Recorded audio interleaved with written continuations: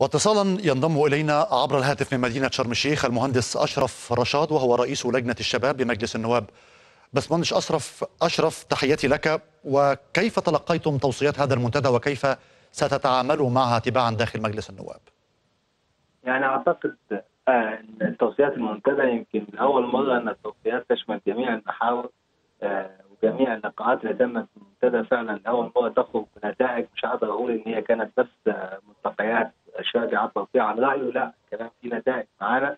نقدر لاول مرة نطبقها على أرض الواقع. طبعا في جميع المحاور سواء على المحور العلمي اللي عندي وفكرة جائزه زويل تايلو. أعتقد إن هذه فكرة رائعة. تربط فعلا أفريقيا بمصر. تعيد مرة أخرى دور مصر الريادي المطلوب إنه يكون في أفريقيا. فكرة المنتدى الاقتصادي ومنتدى رواد الإعلام. التركيز على القضايا المهمة زي قضايا التواصل الاجتماعي وكيفيه تأثيرها.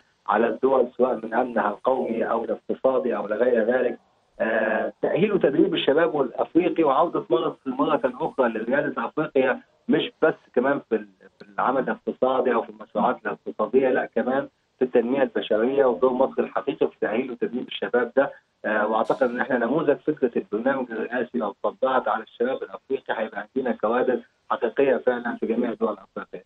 ده بالنسبة لمحاور المؤتمر وأعتقد زي ما أنا قلت إن هي شملت جميع المحاور المهمة اللي بتهم الشباب، الشباب فعلا قالوا رايهم بصراحة، الشباب توصلوا لنتائج من خلال مناقشاتهم، كان في الناس اللي بتسمع من كل القيادات من جميع المستويات وعلى رأسهم طبعا السيد آه الرئيس عبد الفتاح السيسي اللي كان المؤتمر. آه كان المؤتمر جميل جدا بوجوده في جميع الندوات والمناقشات وهو كان آه بيعلق بنفسه على كل الآراء وكان بيتداخل في النقاشات.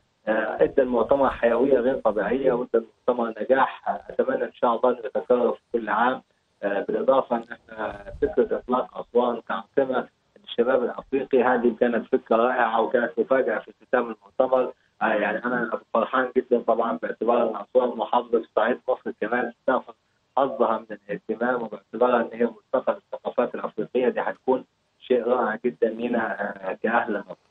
بالنسبة للجنه الشباب والرياضه بالتأكيد هذه المحاور ستكون والتوصيات ستكون هي اهتمامنا الفترة القادمة بإذن الله هنناقشها مع الساده النواب أعضاء لجنه الشباب والرياضه ومع الوزارات المعنية وهنحاول نحن سريعا نرى نتائج هذه التوصيات على أرض الواقع بإذن الله رب العالمين. تقبل تحياتي المهندس أشرف رشاد وأنت رئيس لجنة الشباب بمجلس النواب كنت معنا عبر الهاتف من مدينة شرم الشيخ.